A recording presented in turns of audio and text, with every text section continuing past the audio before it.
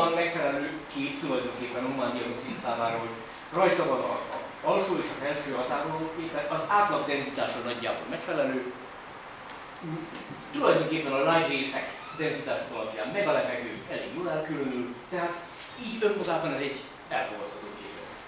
Hát akkor hol kell ennek mértékelését? Mi előszeretettel soroltuk a képet kvadránsokra, meg még majd mutatni fogom milyen célterület. Nevezetesen, ugye a jobb, mert ennek klinikai jelentősége is van a humán medicinában. A jobb felső kvadráns ugye az a, alapvetően a jobb rekesz, alatti területet érinti, ezt se vegyék triviálisnak, hanem az, hogy ugye minek kell lenni ott, és kell lenni, mert nem mindig van ott. Inversusnál mondjuk, vagy egy malrotációnál, nem tudom, ez az állatvigyászatban van, amikor az egész bérrendszer nem ott van, ahol kell, meg nem úgy van, a technik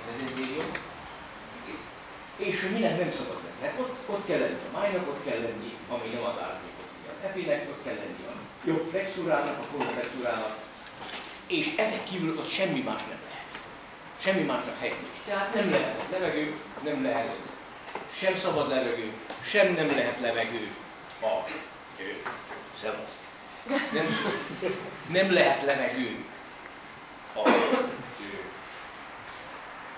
üreges szerveken kívül, nem lehet levegő a májban, ne esik meglepődni, epesikolyoknál, ugye levegő került a májba, és ez például az egy elagi arra utal, hogy epesikoly van valamilyen módon, vagy egy szeptikus kollangitis van, amiből kifolyólag levegő van, vagy pedig egy portális trombózis van, amikor szintén a portarendszerbe kell levegő. Tehát ezen a helyen, ugye ennek helye nincs. Meg más denzitásnak sincs hely. Aztán akkor ugye haladunk a felső kvadránsra, ahol ugye ott kell lenni a jó légkörjának, ott kell lenni, ha meglátszik, meglátjuk akkor a lépárnyíkának, ott kell lenni a, a valflexúrának, és azon kívül másnak meg nem, nem, nem szabad ott lenni. Ott sem szabad lenni levegőre, mindjárt fogunk látni példát. Aztán haladunk a jobb alsó kvadránsra, ez megint egy klinikai entitás a humán medicinában, nevezetesen a, ez a cőkum helye, ez, a, ez az appendixnek a helye, ez a appendiciseknek a helye, ez a periappendiculáris tájogoknak a helye, és, és a többi, nem akarok mindent felsorolni, mert nem arról szól a dolog, és akkor a bal alsó kvadrás, ami nálunk ugye a szigma területe alapvetően, és tulajdonképpen a, a pszoász körüli folyamatoknak a területe, és ezen a négy kvadránson kívül, ha valaki ezt, még ezt a módszert használja, majd mondok másikat is, ott van még egy kitüntetett terület, nevezetesen az a középső rész, amelyik a pankreátnak, a duodénumnak és a veséknek a területe, nem most a kör nagyságát tessék tekinteni, a területet, a célterületet, amit elemzünk, így ilyen sorrendben hozva, és ott van még egy célterület nekünk, a pólyag területe, ugye, ahol nem csak pólyag van, hanem ahol ugye ott rektum, ott vannak a prostata elváltozása, amiből látunk, prostata klasszifikációkat például, ugye meglát, ott vannak a nőgyógyászati elváltozások, amiből némelyiket látjuk, például a uterus miomákat és hasonlókat mi látunk ott. Tehát mindebből azt akartam érzékeltetni, hogy igenis egy szisztematikus haladás során bizonyos területeket tekintünk át, bizonyos szempontok szerint. Ahogy mondtam, ugye a határoló területek. Ott van, ahol a nyíl mutatja, egy Ileus mellett egy kis neurális folyadék. Ott van a jobb felső kvadránsban egy idegen denzitás, egy mész egy. Ugye ott van a rekesztájon mind a két oldalon, tehát itt van a rekesz kontúron a szabad levegő, meg két dolgot látunk, látjuk a nyomornékolyagot, és látunk mellette még egy levegősaknak, és még van még egy viszonyos nyújt is az a szabad levegő belül, vagyis neki nem tájogja van, hanem neki már peritonitisze van, peritonitisze van, amely mellett már folyadék is van. Tehát ezt sem tudjuk a, a, szab, a szabad levegőt, meg a mellette levő peritonitisnek a folyadéklet, nem tudjuk felfelépíteni.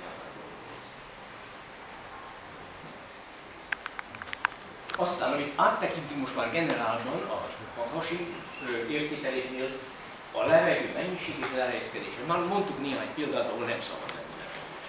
Na most, ugye a levegő az lehet mind a három kompartmentben, nevezetesen az üreges szervek a három kompartmentjében, és de, de a gyomorban, a vékonybélben is a a, Mi azt szoktuk mondani, hogy a vékonybélben normál állapotban az embernél levegős helye nincs. Ha a vékonybélben levegő jelenik meg jelentősebb mennyiségben, akkor az már patológiás, és akkor az, az utána kell Uh, igen, a mennyisége, hát ugye látjuk, van az egész vastag, de hol, melyik részében, ugye? És említettem, hogy hol lehet egy megtalálni, és hol nem szabad egyetlen Ott a három kompartment, az egyes ugye a gyomor levegője, a kettes a vékonyvelek, és a hármas pedig követni lehetne a kórumnak a levegőjét, és több helyen földi nívó van, ugye Linux. Na de milyen Linux? Meddig van rendszerben? Ugye? Van levegő a rendszerben? Hát van levegő a vastagbélben is, nagyon sok, a vékonybélben is, meg még a gyomorban is, tehát a, ugye, a gyomorban, a vastagbélben egy régi, és hát egy csomó vékony is van. Mert ez egy vastag De nem mindig váltunk végig az egész bélrendszerről levegőt. Van egy nagy bélkacs, aztán utána semmi, síricsen, és ez egy magas vékonyvédő ezek a képek.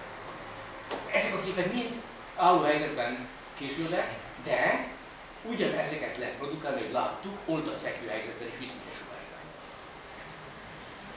Sőt, sőt, hanyatfekvő helyzetben is viszont sugárírányban. Tehát biztosan reprodukálható ez a fölvételi helyzet az állatnál.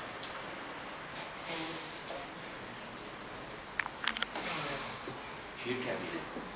Mi mondjuk a sírkebél nevezetesen azt, hogy látunk levegőt a vékony belekben, és a vastag félben ezeket a kis pici.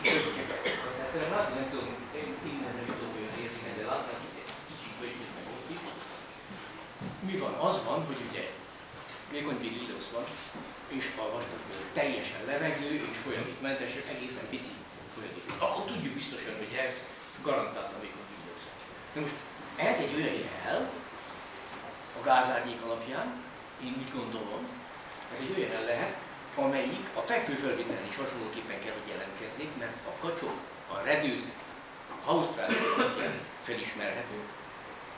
És ha hasonlót látunk, hogy csak vékony is, és ilyen, hogy a vastag lefutása mentén ilyen apró levegőség vannak, akkor tudjuk lokalizálni az elfelejtás Ugye,